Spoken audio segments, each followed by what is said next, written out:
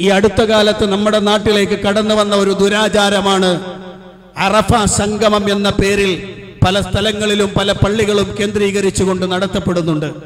അറഫ സംഗമം എന്ന് പറഞ്ഞാൽ ഈ ദുൽഹിജ ഒൻപതിന്റെ അന്ന് അറഫ ദിവസത്തിന്റെ അന്ന് വൈകുന്നേരം ആളുകൾ പള്ളികളിൽ ഒരുമിച്ച് കൂടുകയും പ്രത്യേകമായ ദിക്കറുകളും തസ്ബീഹുകളും തഹ്ലീലുകളും ഒക്കെയായി കഴിഞ്ഞുകൂടുകയും അതോടൊപ്പം തന്നെ ചില ജിൽസകൾ നടത്തപ്പെടുകയും ചെയ്തുകൊണ്ടിരിക്കുകയാണ്.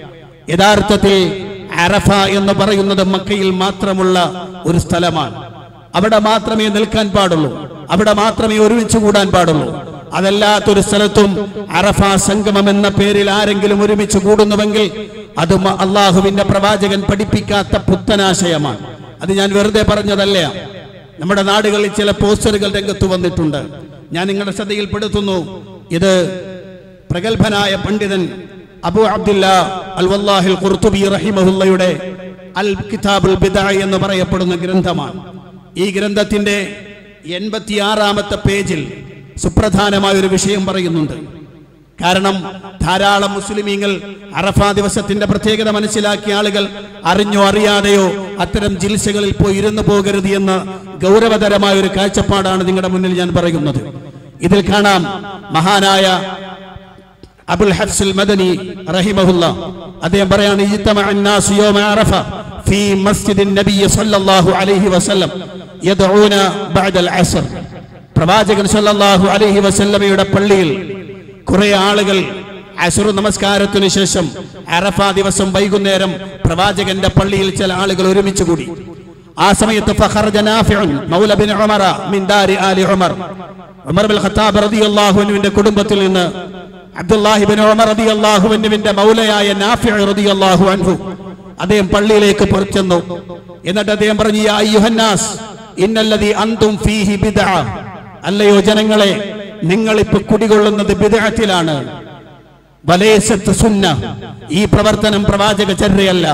ഇന്നാ ദറക്കന നാസ തീർച്ചയായും ഞങ്ങൾ സ്വഹാബികളെ കണ്ടെത്തിയിട്ടുണ്ട്. വലയസ്നൗനഹാദ ഹാദാ. സ്വഹാബികൾ ആരും തന്നെ ഇപ്രകാരം ചെയ്തിട്ടില്ല.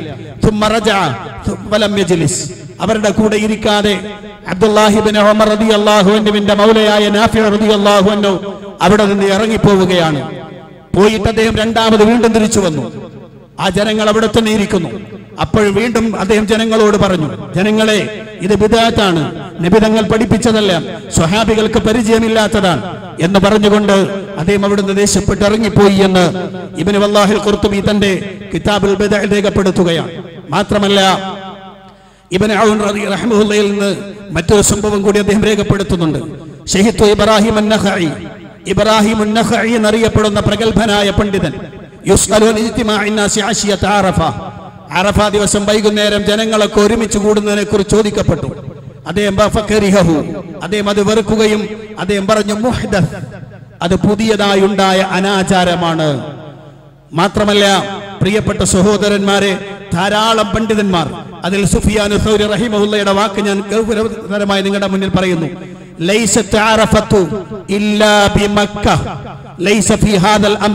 അറഫ.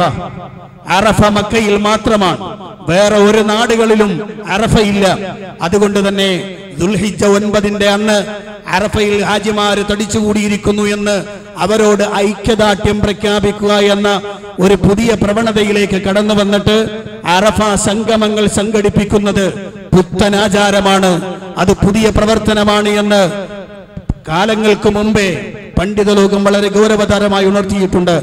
ഈ മലപ്പുറം ജില്ലയിൽ അടുത്ത സമയത്ത് ചില പ്രദേശങ്ങളൊക്കെ ഇത്തരം ജിൽസകളിലേക്ക് കടന്നു വരുന്നുണ്ട്. അതുകൊണ്ട് എന്റെ പ്രിയപ്പെട്ട സത്യവിശ്വാസികളെ വഞ്ചിതരാവരുത് എന്ന് ഞാൻ ഗൗരവത്തിൽ ഉണർത്തുകയാണ്.